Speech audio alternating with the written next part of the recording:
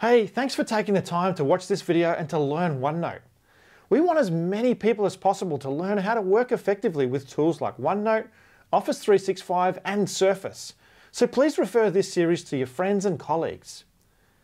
If you really want to have an impact with your team, the most effective way is to set aside time each week to improve your digital skills.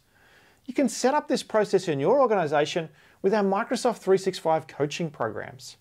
Check out the link below to see our instructor facilitated coaching programs and contact us for more information. Microsoft released OneNote to the market all the way back in 2001. And since then, it's become one of the most widely used tools for taking notes, creating content, and collaborating. It's available on many platforms, including Windows, Mac, Android, and iOS, and it's even available from any web browser. In this video series, We'll show you how you can use OneNote both personally and for collaborating with others.